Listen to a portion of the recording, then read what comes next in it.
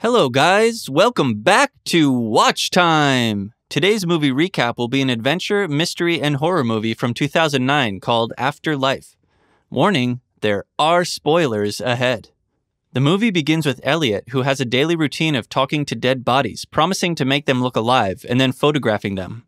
However, the main focus shifts to Anna, who we see in an uncomfortable situation with her boyfriend, Paul. While they are intimate, Anna appears unhappy, which causes tension between them. Later, Paul tries to make amends while Anna showers, but despite her assurances of happiness, her expression suggests otherwise. Anna then goes to the school where she works and intervenes when she sees two older students bullying a younger one, Jack. Jack thanks her and points out a chick he thinks is dead, but Anna reassures him that it's just scared. As Anna leaves the school, the hallway lights flicker off, frightening her. The door locks, but Jack reappears, turns on the lights, and opens the door effortlessly. Next, Anna attends her old piano teacher's funeral. On her way, she realizes she's out of pills and stops at a pharmacy. She also visits a hairdresser for a new look. At the funeral, the widow is surprised that Elliot chose her late husband's favorite flowers. Anna thinks she sees the corpse move its mouth but dismisses it as her imagination. That evening, Paul meets Anna at a restaurant and comments on her new hairstyle, which he thinks doesn't suit her. He reveals he's moving to Chicago for work and tries to propose, but Anna, thinking he's breaking up with her, argues and leaves abruptly. Driving in the rain, she narrowly avoids an accident with a white van and starts to use her phone, not noticing another car overtaking her before everything goes black. The flashback ends in a morgue where Anna, now with a pale face and a head wound, finds herself. Elliot, preparing her body, is interrupted when she opens her eyes and calmly asks where she is. He tells her she's in the morgue because she's dead. We find out that Anna died in a collision with a truck carrying metal pipes eight hours earlier, Elliot tells her that her body has stopped circulating blood and is decomposing. Anna appears confused and in disbelief.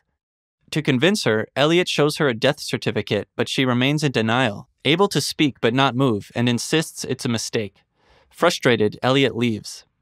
Meanwhile, Paul wakes up at Anna's place and tries calling her, but her phone and other belongings are with Elliot, who puts the missed calls aside and stores the phone in a closet filled with similar bags. Paul goes to Anna's mother's house with flowers, where he learns of Anna's death and faces her mother's blame. Back at the mortuary, Elliot talks to a corpse's photo as though it's alive. He then ignores Anna's pleas not to hurt her as he stitches her wounds and injects her with a muscle relaxant. Later, Anna's mother visits, requesting that Elliot restore Anna's hair to its natural brown. Alone again, Anna tries to check her pulse and feels pain by hitting herself, but fails. She attempts to make a phone call with an old, non working phone. When Paul arrives at the mortuary, desperate and sad, Elliot refuses him access to Anna's body due to lack of legal ties. Anna, behind a door, screams for Paul, but he cannot hear her. Paul, driven by desperation, goes to the police station to find his friend Tom, but Tom isn't there. While waiting, Paul sees Anna's car and enters it, experiencing visions of her until Tom snaps him out of it. Meanwhile, Anna finds scissors and hides them, planning to attack Elliot. She attempts to escape but fails as the doors are locked. She even threatens Elliot but can't follow through. It's then that Elliot confesses his unique ability to communicate with the dead. Later, Anna wakes up to see an old woman looking straight at her and ominously says, You're not ready. This vision causes her to panic and wreck the room, but Elliot doesn't notice because he is at the old woman's funeral having a heartfelt conversation with Jack. The next day, Paul hears Anna's whispers and thinks he sees her, but it turns out to be just a dream. Meanwhile, Elliot returns with Anna, hangs a dress and his jacket on a rack, and shows her the dress intended for her funeral. While Elliot is busy, Anna sneakily takes the keys from his pocket. Elliot then leaves in his white van for a gas station, and Anna uses the stolen keys to eventually unlock the door and escape the room. When Elliot goes to pay at the gas station, he realizes he's forgotten his keys and hurries back. Anna reaches the front door, and seeing Elliot return, she runs outside, finds a phone, and calls Paul, but the call is full of static. Just then, Elliot catches her, shows her a mirror, and her corpse like appearance convinces her that she's dead. However, two unnoticed things occur. Jack is outside watching her, and Elliot sees this. Also, Anna breathes on the mirror, fogging it up, which shouldn't be possible if she were dead. Elliot quickly wipes it away without her noticing, and convinced of her death, Anna stops resisting his preparations and doesn't pay attention to what he injects her with. Another day passes, and Paul is at school collecting Anna's belongings when Jack tells him he saw Anna in a red dress at the mortuary the night before. Paul, upset, tells him to stop joking, but Jack insists, suggesting Paul doesn't love her enough, which angers Paul and leads him to hit Jack.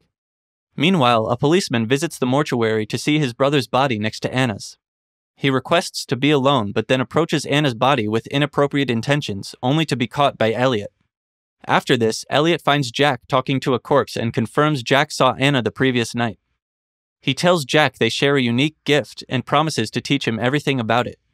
Meanwhile, Paul recalls that Anna wore a red dress the last morning they were together, just as Jack had mentioned. He suspects she might be alive, rushes to the mortuary, and confronts Elliot, demanding to see her. Elliot refuses and threatens to call the police, causing Paul to leave but not give up. He visits his friend Tom and shares his suspicions that Anna's death was hastily declared and she might have been drugged. Tom is skeptical, but another policeman mentions a drug called hydronium bromide, which can cause paralysis quickly. Paul also mentions the phone call he thinks was from Anna, but his concerns are not taken seriously. Tom tries to convince Paul that his ideas don't make much sense. Meanwhile, Elliot is preparing Anna for her funeral when they have a deep conversation. Anna admits she has never been happy and explains that her mother taught her that to love was to suffer, leading her to vow never to love until she met Paul. Regretting not telling him she loved him, Elliot opens the door, inviting her to leave if she really wants to live.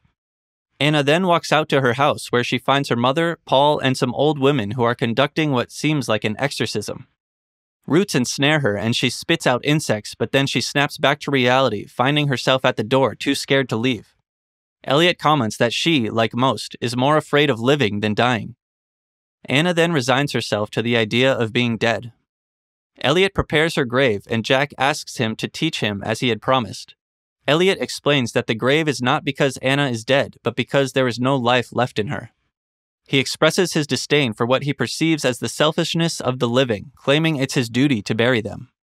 On the day of the funeral, Elliot injects Anna with a muscle relaxant that makes her skin appear alive, revealing the substance is hydronium bromide, the same drug mentioned by the policeman to Paul. Anna asks for a mirror as her last wish, and when she sees her breath fog up the glass, she starts to doubt her death. Elliot dismisses it as her imagination. As the drugs weaken her, Elliot takes a photo of her. At the funeral, Anna's mother is touched by the presence of her favorite flowers, which Elliot chose. Paul, accompanied by Tom, places an engagement ring on Anna's finger. Anna's lips and eyelids twitch, prompting a nervous Elliot to close the coffin quickly. As they leave the funeral, Paul apologizes to Jack, who reminds him that he never said Anna was alive, just that he saw her. Elliot then adds Anna's photo to a wall filled with similar photos. Anna wakes up screaming in her coffin, running out of oxygen. Meanwhile, Paul races to the cemetery in the rain. A bright light blinds him momentarily, and an ambulance overtakes him, heading toward where Elliot's truck is parked, now with Jack by his side. They talk about how it's all over. Paul arrives at the cemetery and frantically digs up Anna's coffin. She breathes again and tells him she loves him, but then Paul hears a noise. Anna tells him it's the sound of scissors cutting his clothes. Paul then wakes up on a stretcher in the mortuary, paralyzed. Elliot tells him he died in a car crash and couldn't make it to the cemetery. As Elliot drives a metal spike into Paul's body, causing him pain until he passes out, Paul insists he isn't dead, hinting at an afterlife experience. Thanks for watching. Don't forget to give a thumbs up and subscribe. Take care and see you next time.